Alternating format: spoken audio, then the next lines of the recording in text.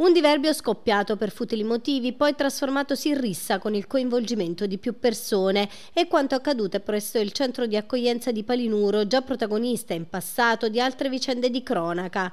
Questa volta alcuni ospiti della struttura sono venuti alle mani, pare per futili motivi. Alcune mancanze nella pulizia degli alloggi, il là che ha fatto scoppiare il battibecco, poi degenerato con calci, botte, offese, spintoni tra richiedenti asilo.